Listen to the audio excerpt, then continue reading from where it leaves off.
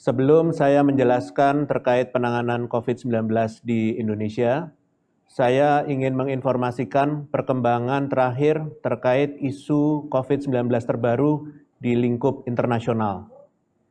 Telah ditemukan varian virus SARS-CoV-2 baru di South Wales, Inggris, yaitu SARS-CoV-2 VUI 2020 12 garing 01. Selain itu, di negara Eropa dan Australia juga sudah teridentifikasi mutasi virus serupa.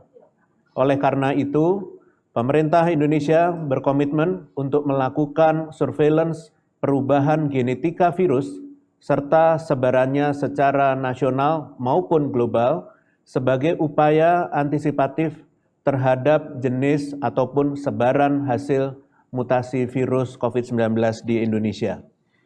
Selain melakukan upaya dengan pendekatan ilmiah, pemerintah pun tanggap melalui kebijakan pengetatan mobilitas termasuk kedatangan orang dari luar negeri. Hal ini diperlukan dengan tujuan untuk melindungi keselamatan dan kesehatan warga negara Indonesia dari kemunculan imported case pendatang yang berhasil menunjukkan hasil negatif RT-PCR saat kedatangan memiliki kewajiban untuk melakukan tes ulang RT-PCR. Jika hasilnya negatif, maka pendatang tersebut diwajibkan untuk melakukan isolasi selama lima hari.